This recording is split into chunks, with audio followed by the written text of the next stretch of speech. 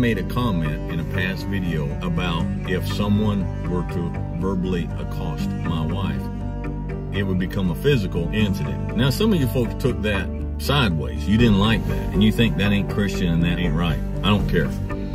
All right. My wife is not just the person, but the thing that I value most in this world.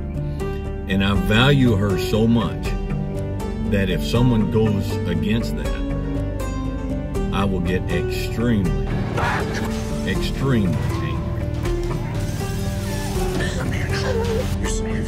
I love you. If you don't hold with that, that's okay. You do what